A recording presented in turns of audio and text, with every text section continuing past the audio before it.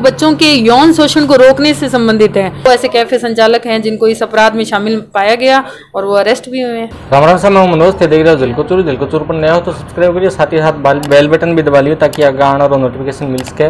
फ़िलहाल चोरू की एक विशेष खबर की बात कर लिया कैफ़े चालक है, जिका दो मामला ऐसे है जिका नाबालिग के अंदर है। और बलात्कार का मामले के अंदर ही वह चपेट में आ गया है। तो आपकी आज की जी कवरेज है इन्हें आप ये सब लेवा के जिका कैफ़े रहा है, वह किया बच के होटल संचालक है जिका ने की चीज़ को ध्यान को नहीं हो, वह की साबू बच के और पीछे का जिका मामला है। बंग अंदर की कुछ होड़ो है, जिकी सीओ सिटी ममता सारस्वत चूरू द्वारा तमाम जानकारी है, जिकी लेवांगा। तो मैम जी पीछे दो मामला है, आया है एक महीने जी कैफ़े चालक बन की प्रकार की ध्यान रखना चाहिए? नाबालिग के संबंध में यही कहना है कि चूँकि पोक्सो जो अधिनियम है, वो बच्चों के यौन शोषण को रोकने से संबंधित है। और उसमें विशेष प्रावधान ये किए गए हैं कि सहमति कोई मान्य, मान, मायने नहीं रखती, है ना?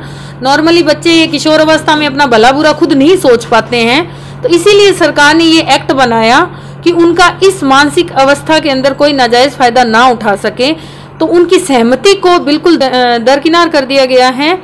लेकिन इसमें जो मेन जो मुख्य आरोपी होगा, उसके साथ साथ जो सर्विस प्रोवाइडर है, जानने अनजाने उन्हें किसी भी तरह की अगर सुविधा दे रहा है, उनको कोई शेल्टर दे रहा है, जिसकी वजह से वो उस क्राइम को करने में सक्षम हो पाया, जो मुलजिम है तो वो भी बराबर के भागीदार होते हैं। तो प्रत्येक जो रेस्टोरेंट, होटल संचालक, कैफ़े संचालकों से मेरा ये विशेष आग्रह है कि चूँकि वो अपनी आजीविका कमाने की के प्रयास में ही जो अपने व्यवसाय चला रहे हैं तो उसमें इन बातों का विशेष ध्यान रखें कि वो जाने अनजाने किसी अपराध के अंदर शामिल ना हो जाएँ क्योंकि पोक्सो अधिनियम उन्हें भी बराबर का दोषी ठहराएगा इस तरह की घटनाओं के अंदर अमूमन इस मामला में आज चीज़ देखने मिले कि जब भी कोई कार्रवाई करने जावे तो बेटे में आंग द्वारा एक भानो ही बनाया जाए कि माने ये चीज़ को पतो को नहीं हो तो वो भानो की तो चल सके बाद में अ, मैं हमेशा एक बात कहती हूँ कि इग्नोरेंस ऑफ़ फैक्ट तथ्यों से यदि आप अनभिज्ञ हैं तो वो चल सकता है लेकिन इग्नोरेंस ऑफ़ लॉ आप ये प्ली नहीं ले सकते हो कहीं भी कि मुझे इस कानून के बारे में जानकारी नहीं थी। जैसे मैं किसी को पत्थर मार कर ये सोचूं कि मुझे नहीं पता था कि मैं 307 का दोषी बन जाऊँगा या 302 का तो वो बात कहीं भी स्वीकार्य नहीं होती। उसी तरह इस मामले में ये स्वीकार्य नहीं होगा कि मुझे नहीं पता था। आपको रखनी पड़ेगी ये जानकारी।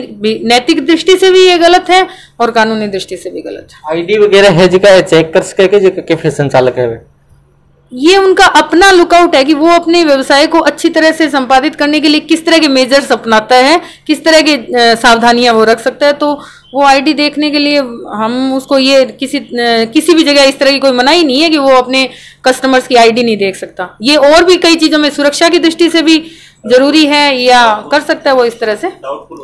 कोई भी संदिग्ध व्यक्ति है तो वो उसकी आईडी देख सकता है। अच्छा फिर पीछे घटना के बाद में बता रहे हो कि चूरू प्रॉपर के अंदर कुछ ग्रुप वगैरह भी बनाई गई है? तो बैंक मैंने के टाइप की जानकारी है जी की दे जा रही अ, हमारा उद्देश्य यही था कि पहले हम लोगों को अवेयर तो करें कि यदि उन्हें कानून की जानकारी नहीं है या पोक्सो अधिनियम के बारे में उन्हें जानकारी नहीं है तो वो किस तरह के अपराध के अंदर शामिल हो रहे हैं। तो इसके लिए हमने एक व्हाट्सअप ग्रुप बनाया, उन लोगों की मीटिंग भी रखी, जो भी कैफ़े संचालक या होटल संचालक हैं तो उन्हें इस कानून के बारे में पहले जानकारी दी कि जाने अनजाने आप किस तरह से एक बड़े क्राइम के अंदर शामिल हो रहे हो, जिसके अंदर आगे भविष्य में आपको कितनी बड़ी सजा हो सकती है। तो उन लोगों से हमने, चूँकि अभी तो निवेदन ही किया है, क्योंकि आप, पिछले दिनों दो ऐसे कैफ़े संचालक हैं, जिनको इस अपराध में शामिल पाया गया, और वो अरेस्ट भी हुए हैं। सर, जिस तरह हमें गाइडलाइन मिली है उस तरह से जो भी अंडर एज जो भी है लड़कियाँ जो भी अंडर एज है, उनकी हमारी आईडी ली जाती है, उनकी एज चेक की जाती है। उसके बाद ही हम कैफ़े में केबिन प्रोवाइड करते हैं। अगर अगर लड़की अगर नाबालिग है अंडर एज है तो उनको हम बाहर बिठा देते हैं, सिर्फ़ फूडिंग के लिए। जो भी हमारा प्रोसेस है फूडिंग के ऊपर चलता है। और कुछ नहीं। सर जो भी है, पहले हम आईडी लेते हैं दोनों की।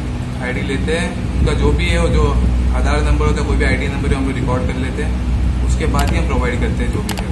तो आज दोनों स्पेशल कवरेज ही आज की कवरेज के ऊपर ज़रूर थारे फीडबैक देगा, साथ ही साथ वीडियो ज़्यादा से शेयर करो। जय चूरू, जय राजस्थान, जय हिंद।